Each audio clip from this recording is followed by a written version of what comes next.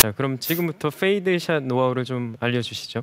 저는 처음에 배울 때 골프를 누가 옆에서 이렇게 처음부터 가르쳐 줬다기보다는 제가 이제 어렸을 때부터 테니스를 쳐가지고 사실 제가 몸을 벗어보면 이 오른쪽 어깨하고 팔하고 오른쪽 등 팔이 왼팔보다는 좀 두껍고 힘이 더 좋거든요. 그래서 항상 어드레스를 하면 뒤에서 보시면 약간 오른쪽 어깨가 약간 이렇게 닫혀 있는 느낌이 나거든요. 네. 그래서 이 상태로 백스윙을 만약에 하게 되면 좀 약간 가파르게 가, 올라갔다가 다, 탑에서는 약간 이렇게 처지거든요. 그러니까 이 상태에서 만약에 정상적인 공을 치면 무조건 이렇게 왼쪽으로 가게 돼 있거든요. 왜냐하면 궤도 자체를 몸이 상체가 그렇게 만들어놨기 때문에 그렇게 가는데 그거를 조금 보완하기 위해서 제가 왼손 그립을 그러니까 저도 모르게 그냥 무의식 중에 약간 이렇게 강하게 잡는 것 같아요. 그러니까 그립을 강하게 잡는다는 거는 네. 이렇게 힘 있게 강하게 잡는 게 아니라 strong 그립을 잡는다는 거죠. 네, 네. 그러니까 오른쪽으로 좀 더 돌려 잡는다는 거죠. 네. 네. strong 그립을 잡아서 이렇게 궤도만으로 봤을 때는 공이 깎여서 네. 이렇게 좀 슬라이스가 심하게 나야 되는데 네, 네. 왼쪽으로 출발해서 공이 심하게 슬라이스가 나야 되는데 그걸 좀 보완하기 위해서 제가 이건 저도 모르게 그냥 무의식 중에 그립이 이렇게 잡힌 것 같아요. 네. 근데 사실 이렇게 시간이 이렇게 지나고 제가 이렇게 일반 그 아마추어 분들하고 이렇게 많이 만나고 프로 선수들도 많이 만나 보니까 사실 그립 자체는 이렇게 약한 그 weak 그립보다는 저는 약간 이 strong 그립이 조금 더 공을 멀리 치고 공을 정확히 치는데 좀 유리하다고 생각하거든요. 네. 그래서 저는 일단 그립을 그렇게 잡고 사실 어깨를 이렇게 많이 이렇게 교정하고 이렇게 스탠스도 많이 이렇게 똑바로 쓰려고 많이 노력했는데 그게 좀 잘 안 되더라고요. 그래서 생각을 한 게 그래 그러면 그냥 그냥 내가 편하게 칠 수 있는 그런 스윙으로 한번 해보자 해가지고 한 게 어드레스를 섰을 때 약간 왼쪽 스탠스는 약간 오픈이 되고요. 상체도 약간은 이 오른쪽이 약간 나와 있는 그러니까 뒤에서 봤을 때 왼쪽이 조금 이렇게 오픈되어 있는 그런 느낌으로 네 이렇게 setup을 합니다. 그러면 주변 사람들이 주변에서 이제 같이 시합을 하는 투어 프로들이 네. 뒤에서 이렇게 alignment를 딱 봐주면 네. 어 너무 왼쪽 보고 있는 거 아니야 이런 얘기도 하겠네요. 네 항상 그런 얘기를 해서 네. 처음에는 많이 고쳐보려고도 하고 고치기도 해보고 했는데 똑바로 치는 게 제일 어렵더라고요 저는. 아 하지만 제가 이렇게 쳐가지고 공이 만약에 제가 fade 구질을 쳐가지고 공이 만약에 적게 가면 문제가 있었을 텐데 그래도 어느 정도 평균 이상의 거리를 냈기 때문에 지금도 지금 이렇게 치고 있어요. 네. 네. 자 그러면 멋진 fade, fade 샷 한 번만 더 보여주세요. 네.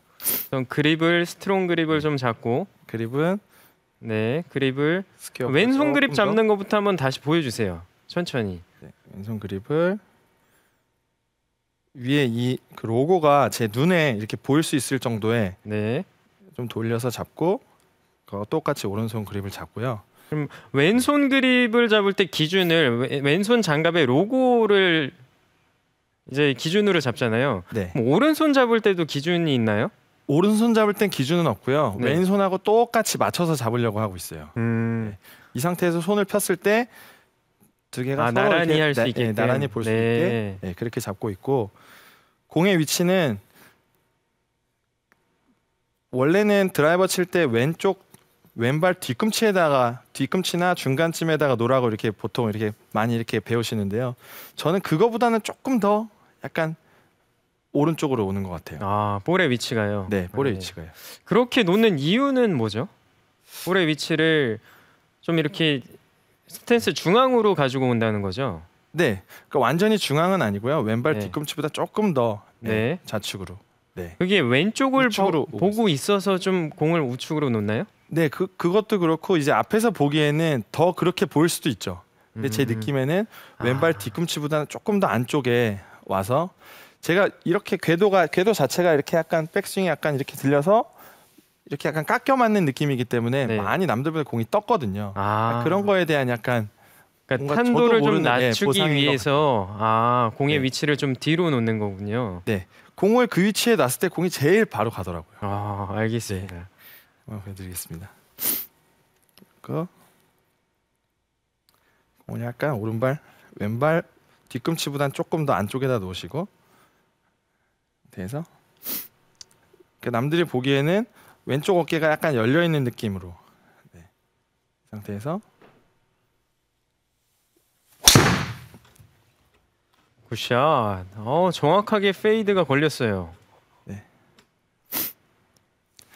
제가 공을 이렇게 치는 이유는 제가 시청자분들한테 항상 그러니까 항상은 아니지만 아마추어 분들한테 항상 생각하고 있었던 거는 일단 자기 몸에서 편하게 할 수 있는 힘을 낼 수 있는 스윙을 먼저 해야 되거든요. 음. 사실 힘도 낼 수 없고 이게 편하게 치지도 못하는데 자꾸 폼만 이렇게 어깨 square로 맞추고 스탠스 11자로 똑바로 놓고 왼발 뒤꿈치에다 놔서 등 피고 다리 피고 저도 이런 모양으로 치라면 칠 수는 있거든요.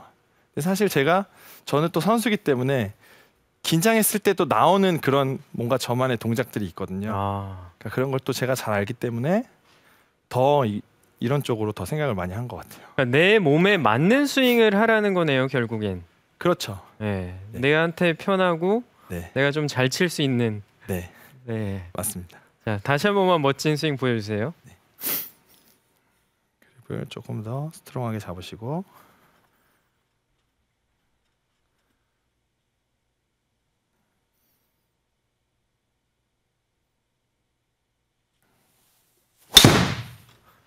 샷. 어우 이제 fade는 너무 편하게 치시는 것 같아요. 정말 제가 이렇게 스윙하는 걸 딱 봐도, 네, 그냥 나는 치면 페이드야 이게 있는 것 같아요. 네.